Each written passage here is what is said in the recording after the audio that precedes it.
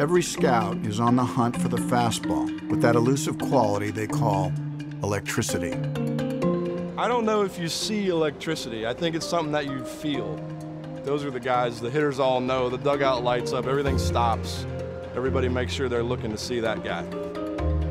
It almost looks like they're throwing a different ball than everybody else. Electric stuff explodes at the plate. When the guys warming up in the bullpen, it sounds like a shotgun was just fired. When, they, when it hits the catcher's mitt, you know it before the game. Now you start getting excited. So we're all searching for that guy with a big power fastball that could walk out and say, it's game over, and basically do it with one pitch. That's what we're all chasing after. That's what we're spending eight nights in a row out searching, watching one game, driving five hours, waking up the next day, driving five hours. We're finding, we're looking for that guy.